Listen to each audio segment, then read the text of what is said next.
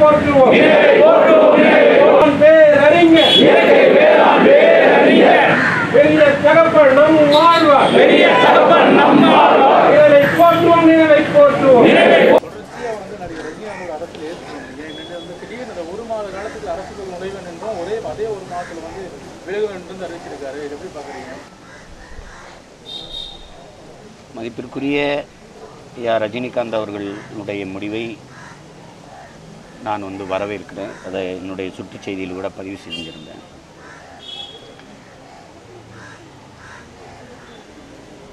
அவரும் அவர் குடும்பத்தாரும் கருதுவது போல அவருடைய உடல்நலன் அவருடைய நிம்மதி அமைதி அது ரொம்ப முதன்மையானது.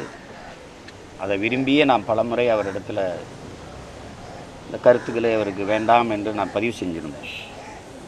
கடந்த காலங்களில்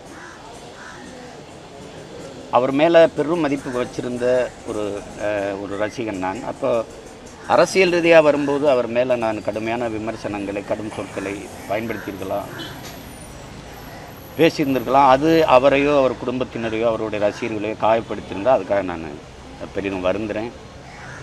இனி எப்போதும் எங்களுடைய பெரும் புகழ்ச்சிக்குரியவர் மரியாதைக்குரிய ஐயா ரஜினிகாந்த் அவர்கள். ஒரு ஆகப்பெரும் திரை ஆளுமை.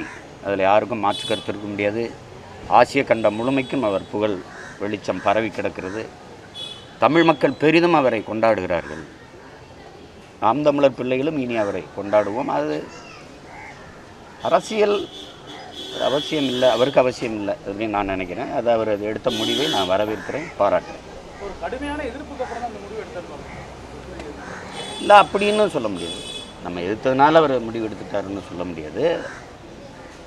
ஆனால் எப்படி பார்த்தாலும் அந்த முடிவு வரவேற்கிறது அவசியம் இல்லை. நான் சொல்கிறது ஏன்னா எங்களை பொறுத்த வரைக்கும் தலைமை அப்படிங்கிறது ஆகப்பெரும் ஈகங்கள்லேருந்து பிறக்கிறது. அது உங்களுக்கு தெரியும். நாங்கள் ஏற்றுக்கொண்ட தலைவர் அப்படி இல்லை. தலைவன் என்பவன் தண்ணீரில் தன்னையே கரைத்து கொண்டு சுவையை கூட்டுகிற உப்பாக இருக்கணுங்கிறான்.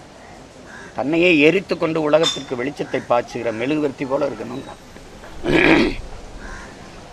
இப்போ அந்த மாதிரி ஈகங்கள் இருக்கும்போது தான் அது சரியாக வரும்.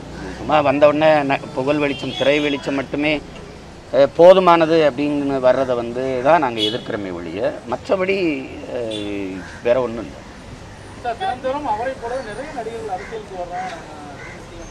வரட்டும் சேவை செய்யட்டும். வரட்டும் வரட்டும் சேவை செய்யட்டும். நான் ஏற்கனவே சொன்னது போல் நானே படைக்கிறதெல்லாம் பார்க்குறீங்க நீங்கள் அவரை நினைக்கும் போது அவர் மராட்டியர். ஆனால் நான் மகிழ்வோடு பாராட்டுறேன். பாரு.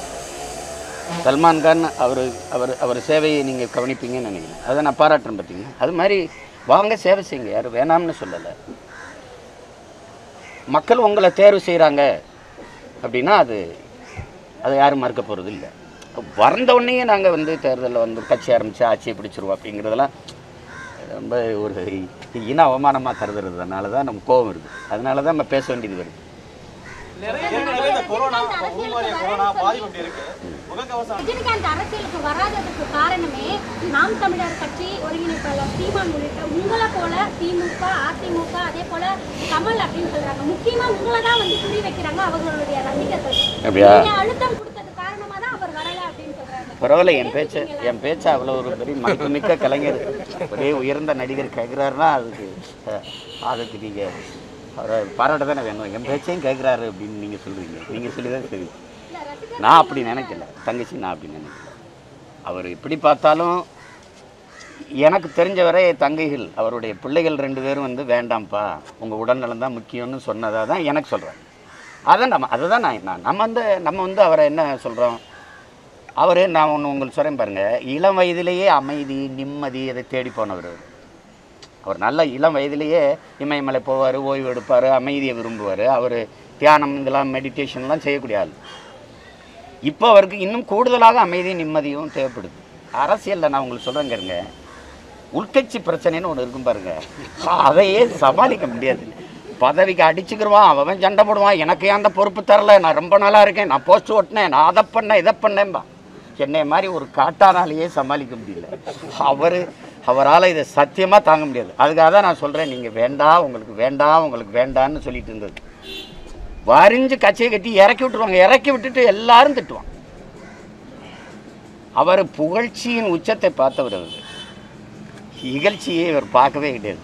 அரசியலில் இறங்கிட்டா அதை தவிர வேறு எதுவும் இருக்காது. எல்லா பயிலும் திட்டுவான் அதை அவரால் தாங்க முடியாது. அதுக்காக தான் நான் வந்து அவரை அன்பாக வேண்டிக்கிட்டேன். நீங்கள் உங்களுக்கு வேணாம் எதுக்கு இது போய் நீங்கள் நிம்மதியாக நடிச்சிங்களா? இனிமே அவர் இப்போ அரசியலில் வந்து புகழ் பெறுவதற்கு ஒன்றும் இல்லை. அவர் அதிகப்படியான புகழ் வெளிச்சத்தை பெற்றுட்டார். அதுவே அவருக்கு போதுமானதுன்னு தான் நம்ம அக்கறையோடு சொல்கிறோம் வேண்டாம் வேண்டாம். வேற? அவர் ரசிகர் அதெல்லாம் கிடையாது ரசிகர் எல்லாம் என் ஆளுகள் தான். அண்ணே அவரே சொல்லுவா அண்ணே நான் உன் ஆளு தானே உனக்கு தானே ஓட்டு கொடுவேன் தலைவரை திட்டாதானே. டே போடா அப்படின்னு எல்லாம் ஏன் நம்ம பிள்ளைங்க தானே சொந்தக்காரன் தானே? வெளிநாட்டுல இருந்து யாரும் இல்லை இல்லை. எல்லாம் என் உறவினர்கள் தானே. ரஜினிகாந்த் அரசியலுக்கு ரஜினிகாந்த் அரசியலுக்கு வர வேண்டாம். கட்சிகள் ஆரம்பிக்க வேண்டாம். அவருடைய ஆதரவு எங்களுக்கு வேணும்னு சொல்லிட்டு ஒரு அமைச்சரே அறிவிக்கிறார். எப்படி பாக்குறீங்க? அமைச்சர் கேட்டால் கொடுத்தாலும் கொடுத்துருவாரு. சும்மா ஏதாவது சொல்கிறதா அவர் இந்த இந்த கட்சி ஆட்சிகளுடைய ம இது சரியில்லாமல் தான் ஒரு கட்சி ஆரம்பிக்கணுன்னே வந்தார். அது எப்படி இந்த கட்சி அமைச்சர் கேட்டால் ஆதரவு கொடுத்துருவார் அவர்? செய்ய மாட்டார். அப்போ அவ்வளவு அவ்வளவு பெரிய தவிர அவர் செய்வார்னு நான் நினைக்கிறேன்.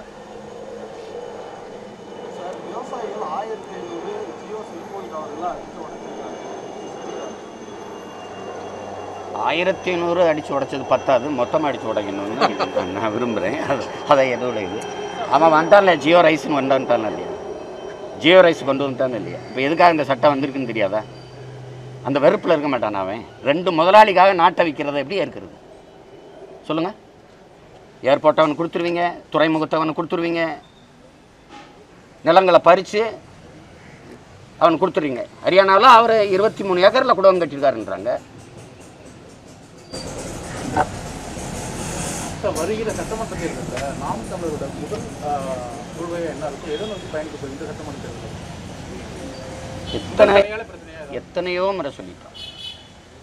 பசி பஞ்சம் ஊழல் லஞ்சம் கொலை கொள்ளை சாதிய இழிவு தீண்டாமை அடக்குமுறை ஒடுக்குமுறை பெண்ணி அடிமைத்தனம் மது மத போதை இது ஏதுமற்ற ஒரு தூய தேசம் படைக்கணும்னு நாங்கள் நினைக்கிறோம்.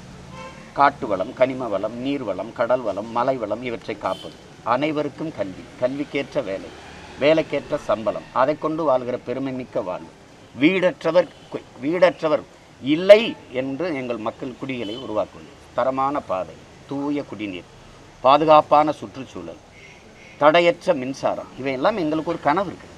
அதை நாங்கள் செய்வோம்னு சொல்கிறோம் மக்கள்கிட்ட சொல்லுவோம். இதுதான் எங்கள் கோட்பாடு. அதை பலமுறை சொல்லிட்டேன். நன்றி.